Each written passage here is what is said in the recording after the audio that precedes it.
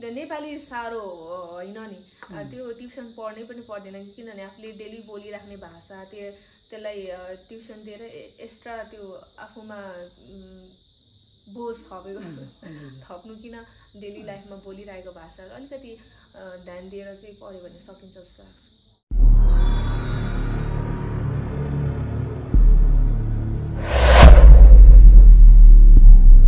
स्वागत छ आजको बातचितमा तपाईँलाई। धन्यवाद तपाईँलाई पनि स्वागत छ। कस्तो हुनुहुन्छ? एकदमै ठिकै छ। थाक्यो आज दिनभरि घुमेर? हजुर आज दिनभरिको हिँडाइले चाहिँ अलिकति थाकिरहेको छ। आज तपाईँको जुन ड्रेसअपमा एकदमै राम्रो देखिरहेको छ। धन्यवाद। पक्का राई देखिरहेको छ। तपाईँ आज के रह्यो तपाईँ? म खासमा बान्ता राई हो। राई हो। म चाहिँ चाम्लिङ राई हो। ए हजुर मेरो आमा चाहिँ चाम्लिङ हुनुहुन्छ। मेरो मेरो पापा चाहिँ चाम्लिङ हो। ए। आमा चाहिँ मन्ता हो। ए फेरि मेरो चाहिँ आमा चाहिँ चाम्लिङ हो। बाबा चाहिँ बान्ता हुनुहुन्छ। हामी आफ्नो आफ्नो रहेछौँ। अब कुनै कुरोमा पोइन्ट एट द सिजन टूमा तपाईँ जानुभयो नेपालको त्यो विशेष गरी अन्तर्राष्ट्रिय स्तरको त्यो पहिरो भएको थियो होइन? यो पहिरो जान के प्रोसेसहरू थियो? होला कसरी जानुभयो तपाईँहरूले? किनभने हामीलाई याद पनि थिएन तपाईँ छुट्टीको जानुभयो। के प्रोसेस थियो? हजुर हाम्रो यो फर्स्टमा चाहिँ एउटा रियालिटी सो भएको कारणले गर्दाखेरि चाहिँ दुईचोटि हाम्रो अडिसन भएको थियो। अन्त इन्टरनेसनल नेसनलबाट धेरैजना कविहरू हुनुहुन्थ्यो जसले अडिसन दिनुभएको थियो। र म चाहिँ फर्स्टमा चाहिँ मैले अडिसन दिएँ। अडिसन दिएपछि चाहिँ मेरो रिजल्ट आउनु अलिक निकै टाइम लाग्यो। अन्त। त्यसपछि मैले सोचेँ सायद भएन होला भनेर। अन्त लाखौँ हजारौँ कविहरूको बिचमा म एउटा फुच्ची कहाँ होला जस्तो पनि भयो। तर प्रभुको अनुग्रहले मेरो आयो रिजल्ट आयो। अन्त रिजल्ट आएपछि हाम्रो फेरि सेकेन्ड राउन्डको अडिसन भयो। सेकेन्ड राउन्डको चाहिँ हाम्रो दुइटै अडिसन हाम्रो इन्टरनेसनलको लागि चाहिँ डिजिटल थियो। किनभने हामी फिजिकली गएर अडिसन दिन नसकेको कारणले गर्दाखेरि हाम्रो डिजिटल थियो। नेसनलको चाहिँ फिजिकल अडिसन थियो। अन्त हाम्रो सिक्किमबाट अन्त दार्जिलिङ धेरै इन्टरनेसनल कविहरू धेरै हुनुहुन्थ्यो जसले अडिसन दिनुभएको थियो। तर कारणवश उहाँहरू कतिजना त्यो स्टेजमा पुग्न सफल हुनु भएन। र गडको ग्रेसले नै भनौँ न हामी चाहिँ दादा र म चाहिँ सिक्किमबाट त्यहाँ पुग्न सक्यौँ। उता नेपालमा तपाईँ तिन महिना बस्नुभयो पहिरो सिजनको समयमा है। र त्यसबाट तपाईँले त्यहाँ बसेर के कस्तो अनुभव बटुल्नुभयो म अ, पहिराइडलको स्टेजमा हुँदाखेरि पनि भनेको थिएँ त्यहाँनिर तिन महिनाको मेरो जुन चाहिँ जर्नी थियो पहिराइडलको त्यो मेरो लाइफको सबैभन्दा सुन्दर जर्नी थियो। अहिलेसम्म एक्सपिरियन्स गरेको अहिलेसम्म मैले जिएको लाइफमध्ये त्यो मेरो एकदमै सुन्दर थियो। र त्यसलाई चाहिँ म कहिल्यै बिर्सन चाहन्न र बिर्सन सक्दिनँ पनि। त्यो एकदमै राम्रो थियो। हजुर हजुर। हाम्रो सिक्किम र नेपालको मान्छेहरू के भिन्नता लाग्यो तपाईँलाई? सिक्किम र नेपालको मान्छेहरूमा भिन्नता त त्यस्तो भएन पाइनँ मैले। ठाउँहरूमा त्यहाँको कल्चरहरूमा अलिकति थोरै भिन्नता। थियो। तर मान्छेमा चाहिँ त्यस्तो भिन्नता पाइनँ मैले। हजुर हजुर। हाम्रो नेपालीहरू हाम्रो भाषा हाम्रो ल्याङ्ग्वेज एउटै हो तर बोल्ने भाषा एउटै भयो भने उता चाहिँ बोल्ने टोन चाहिँ अलिकति डिफ्रेन्ट हजुर पाएँ भन्छौँ उता चुरोट भन्छ। हजुर। हामी यता वाइ वाइ भन्छौँ उता चाउचाउ भन्नुहुन्छ त्यस्तो। अलिकति फर्स्टमा चाहिँ अलिकति निकै साह्रै विशेष गरी टप एटसम्म पुग्नुभयो। एटसम्म पुग्न तपाईँको मेहनत त धेरै थियो। तपाईँले कोसिस गर्नुभयो तपाईँले धेरै सङ्घर्ष गर्नुभयो कविताहरू प्रस्तुत गर्नुभयो। त्यति हुँदा हुँदा पनि तपाईँ त्यहाँसम्म पुग्नु भयो भने तपाईँ कस्तो धन्यवाद दिन चाहनु को कस्तो तपाईँ धन्यवाद दिन चाहनुहुन्छ? सर्वप्रथम त म त्यहाँनिर पुग्नु मेरो एउटा ट्यालेन्ट थियो। र मेरो ट्यालेन्ट जुन चाहिँ ट्यालेन्ट ममा छ त्यो त्यो चाहिँ मलाई मेरो परमेश्वरले दिनुभएको हो र उहाँलाई एकदमै परमेश्वरलाई सर्वप्रथम त धन्यवाद दिन चाहन्छु। उहाँले मलाई यति सुन्दर उपहार दिनुभएको छ गिफ्ट दिनुभएको छ। अन्त त्यो गिफ्टले गर्दाखेरि नै म त्यहाँसम्म पुग्न सकेँ सारा अडियन्स सारा संसारको अघि उभिएर आफ्नो कवितालाई वाचन गर्न सकेँ र त्यहाँनिर स्टेजमा पुग्नु मात्रै थिएन। तर त्यहाँदेखि अगाडि बढ्नुको लागि हामीलाई फाइनेन्सियली हाम्रो भोट भोटको लागि हामीलाई फाइनेन्सियल सपोर्ट चाहिएको थियो र हाम्रो एकदमै हाम्रो सिक्किमको हाम्रो सम्माननीय मुख्यमन्त्री प्रेमसिंह अ, सरलाई पनि धन्यवाद दिन चाहन्छु। उहाँले मलाई एकदमै ब्याकबोन भएर मलाई सपोर्ट गरिदिनु भयो र हाम्रो एकदमै हाम्रो रेस्पेक्टेड हाम्रो पोलिटिकल सेक्रेटरी जेकब खालिङ सरलाई पनि धन्यवाद दिन चाहन्छु। उहाँले पनि मलाई सहयोग सपोर्ट गरिदिनु भयो र अरू जतिजना पनि हाम्रो सिक्किमको कविता प्रेमी जतिजना पनि हुनुहुन्छ उहाँले पनि धेरै आफ्नो सक्दो अ, आर्थिक सहयोगद्वारा नै उहाँले मलाई एकदमै सपोर्ट गर्नुभएको भएको छ। र म सबैलाई एकदमै एकमुष्टमा सबैलाई नछुटाइकन नै हृदयबाट नै धन्यवाद दिन चाहन्छु। मेरो तर्फबाट पनि सबिना बहिनीलाई पोइट अहिले सिजनमा जतिजना सहयोग गर्नुभयो है मेरो तर्फबाट पनि सपोर्ट गर्नुभएको थिएँ। बहिनीको तर्फबाट मेरो तर्फबाट म एकदमै आभार व्यक्त अनि धन्यवाद म दिन चाहन्छु। हाम्रो श्रोताको निम्ति एउटा तपाईँको सुरक्षित एउटा रचना सुनाउनु। हुन्छ। मेरो एउटा कविता यो मैले मेरो पोइ टाइटलमा पुगेपछि जुन चाहिँ मेरो पर्फर्मेन्स थियो यो मेरो फर्स्ट पर्फर्मेन्स थियो। र मैले यो कविता लेख्दै गर्दा हामीलाई टपिक दिएको थियो। र त्यो टपिकको नियममा बाँधिएर लेख्दै गर्दाखेरि मैले यहाँनिर आफ्नो अनुभवको कुराहरू आफ्नो भोगाइको कुराहरूलाई समेटेर लेखेको छु।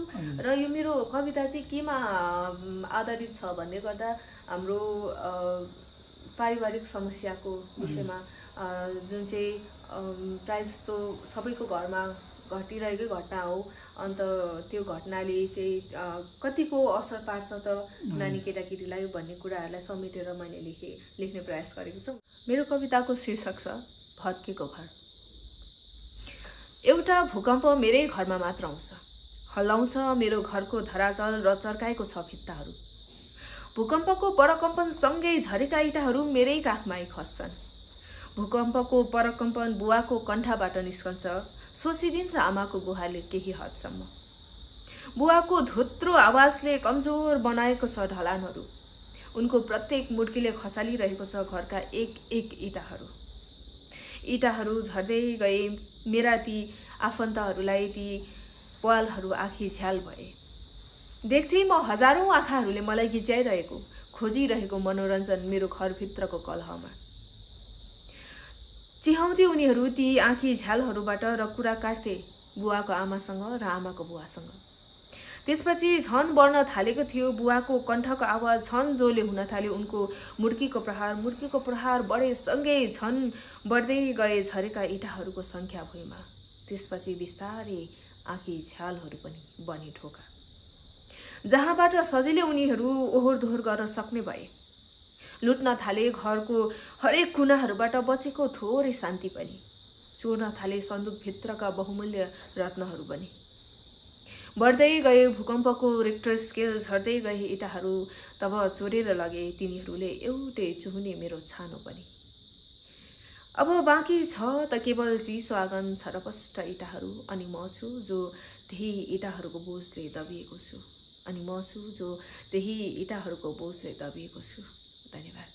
मिठो कविता सुन्दर कविता हामीले सुनेको छौँ र अवश्य श्रोताहरूले पनि सुनेर मन पराइदिनुहुन्छ भने हामी विश्वास गर्दछौँ है।